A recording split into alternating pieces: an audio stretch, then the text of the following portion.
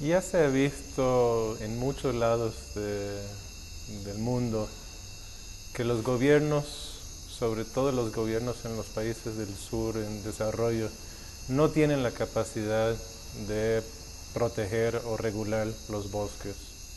Este, no tienen suficientes recursos, hay mucha corrupción en los gobiernos. Los únicos que realmente pueden proteger sus bosques son las mismas comunidades que viven ahí, que ven quién entra, ven quién sale, ven cómo la gente los está usando. Ahora, para que esas comunidades protejan esos bosques, ellos tienen que tener algún incentivo, alguna necesidad de proteger esos bosques. Y eso solo lo van a tener si ese bosque pertenece a ellos mismos. Entonces, darles derechos a las comunidades sobre los bosques permite generarles una motivación para que ellos puedan manejar esos bosques y conservarlos mejor.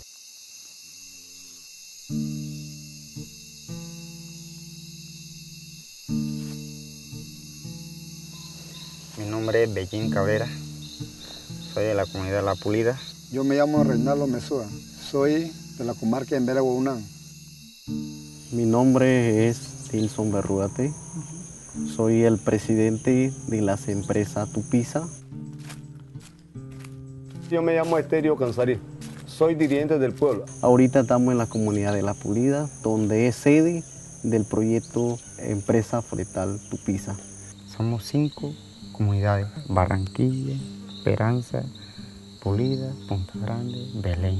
De cada pueblo vienen, ahí están trabajando.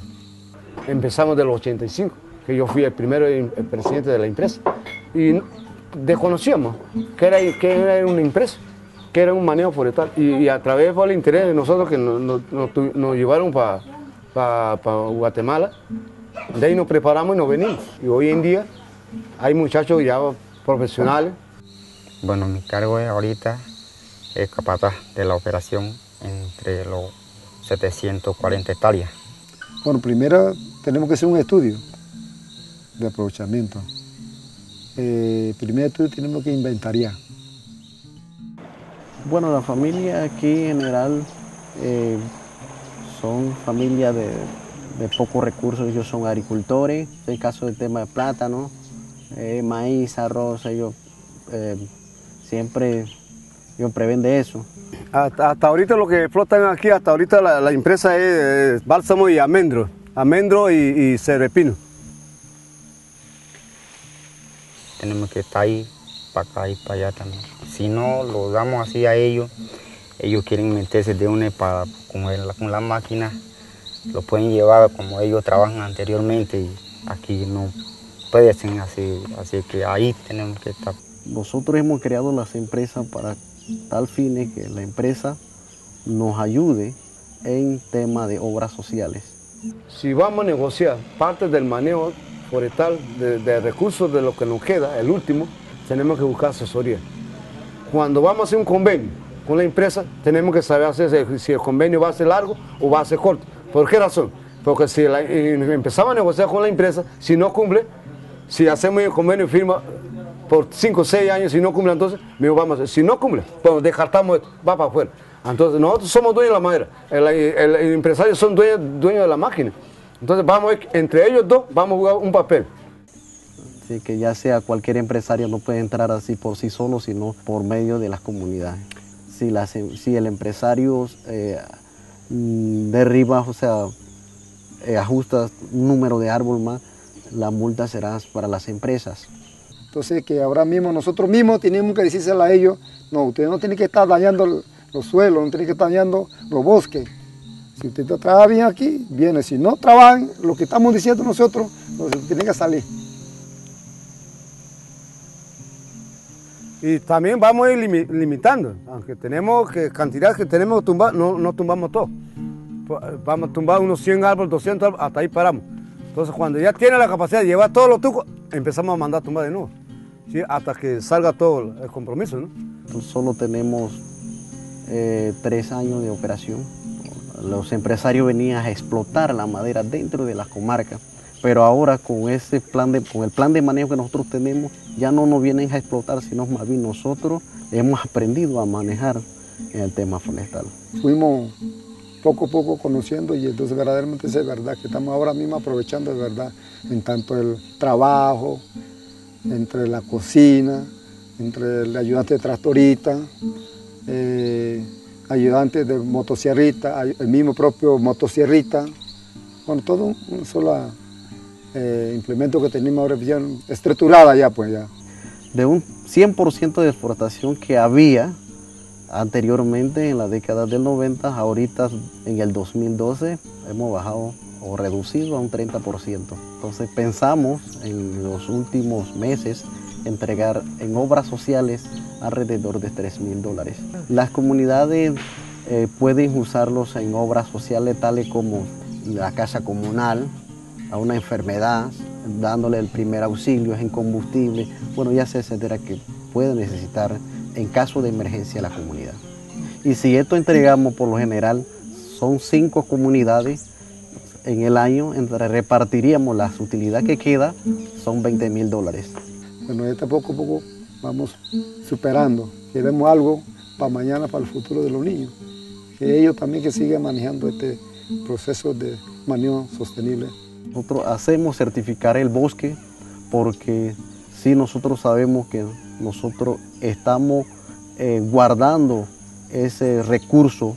El bosque es nuestro, nuestro mercado, porque de allí pues, buscamos alimento, eh, medicina. Ya los árboles están marcados y usted tiene que derribar ese árbol y el motosierra tiene que, por dónde él tiene que tirarse ese, ese tumba dirigida, porque ya él han mantenido todo eso, implementos ya, le han dado esa capacitación a ellos, tanto el ayudante, tanto el motosierrista. Entonces nosotros estamos empezando, estamos haciendo un inicio, estamos dando un ejemplo a la mayoría.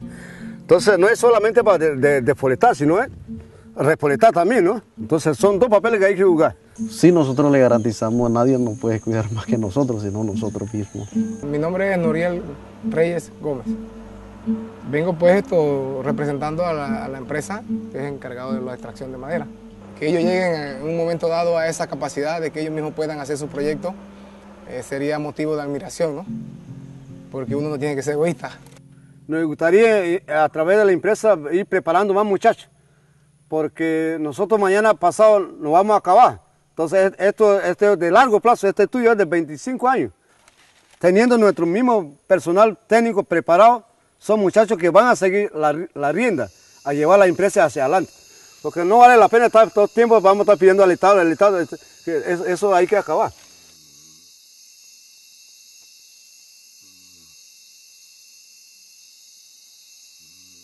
Yo me siento feliz vivir aquí y me siento feliz el estar dirigiendo estas organizaciones porque es, el desarrollo de estas comunidades. Sin poder nosotros eh, apoyar a las demás comunidades como líderes, de poderles gestionar proyectos para ellos, eh, quizás que no van a salir adelante jamás porque anteriormente no había la oportunidad de poder estar organizado, no sé por qué razones, pero la gente no tomaba esas decisiones. Yo, mi nombre es Gregorio Sarmiento, soy de la comunidad del Aguacate. Mi nombre es Selvin Munguía, soy del área comunitaria de San Antonio. Este, mi nombre es Diego Sarmiento. Eh, mi nombre es Carlos Rico, eh, yo formo parte del equipo eh, que acompaña el proceso de las redes de las áreas comunitarias nosotros nos sentimos cada vez más con más responsabilidad, porque lo que hemos tratado de hacer y que empezaron a tratar de hacer los, que primero iniciaron estas organizaciones, lo estamos logrando y lo hemos logrado.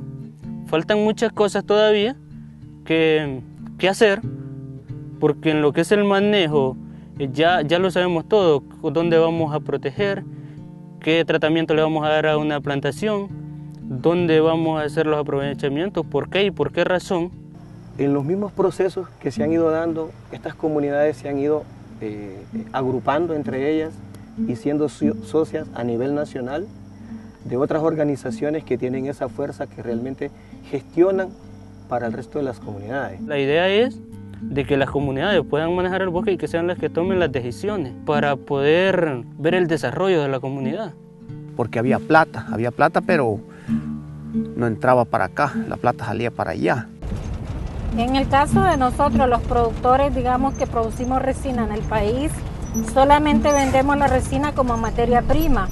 Hemos luchado por largo tiempo de llegar a un proceso terminado, pero hasta ahora no lo hemos logrado, pero estamos en esa lucha de poder, digamos, hacer un proceso artesanal para que la materia prima que nosotros vendemos hasta ahora pueda ser transformada, que genere más ingresos a las familias y que también, digamos, se genere más empleo en estas comunidades. Bueno, me imagino que, que el futuro va a ser más mejor, pues, porque, digamos, por ejemplo, ya ahora las personas, por ejemplo, que están rellenando ahorita, ya ellos todos combinan su, digamos, su, su, dinero en su bolsa. Entonces la, la, cosa va, va mejorando. Porque ya sabemos lo que es el manejo del bosque, todo ese tema ya lo sabemos, pero sí nos hace falta en lo que es la transformación, eh, más que todo apoyo, porque las ideas las tenemos claras. Tenemos la gente preparada y si cogemos un equipo, lo vamos a hacer y lo vamos a poner acá para que todos estos jóvenes transformen esta madera, esta madera no se vaya en rollo a otro lado, sino que sea transformada aquí. Y cuando nosotros estamos dentro de lo que son la, toma de decisiones, entonces sentimos que nos respetan, tenemos un respeto de parte de, de las alcaldías, de parte del gobierno, ya nos ven donde estamos en cualquier rinconcito porque estamos haciendo algo en beneficio de nuestras comunidades. Si nosotros decimos, esta parcela no se va a tocar durante 10 años, ya ni el gobierno ya no respeta esa, esa decisión. Otra de que los desforestan mucho, o sea, desforestaban mucho. Y ahora más bien nosotros estamos forestando. Y tenemos aquí, como lo mira, este, este plantaje que tenemos con forestaciones. El bosque de pino cuando se regenera naturalmente crece mucho más rápido que los árboles plantados. Yo creo que lo que hubiera pasado si nosotros no entramos en el tema en esos momentos es que prácticamente lo que fue plagado por, por el gorgojo fuera lo que fuera un desierto. Es de que después de que nosotros vimos, digamos, áreas totalmente devastadas por el gorgojo, hoy día ni parece que existió plaga, digamos, en estas áreas de bosque, porque ya está totalmente recuperada. Esta plantación tiene ya aproximadamente cinco años pero ya entre 20 y 25 años ya es un bosque acto para poderlo volver a aprovechar. Hoy un miembro de nuestra comunidad tiene otro pensamiento de más avanzado en lo que es el desarrollo y lo que es la organización. Mi nombre es Pedro Antonio Santos, estamos en la comunidad del aguacate. Ahora hemos mejorado pastos porque anteriormente no habían pastos uh, productivos el pasto solo era para mantener el ganado. Pero hemos sembrado de este pasto que estamos viendo aquí, le damos bracaria de cumbre, que ese pasto nos ha dado excelente resultado para ordeñar. Y es donde, donde hemos logrado sacar cierta cantidad de leche cada uno y entonces eh, estamos vendiendo que ya nos genera un ingreso más o menos. Nunca habíamos tenido un precio como el que tenemos ahorita.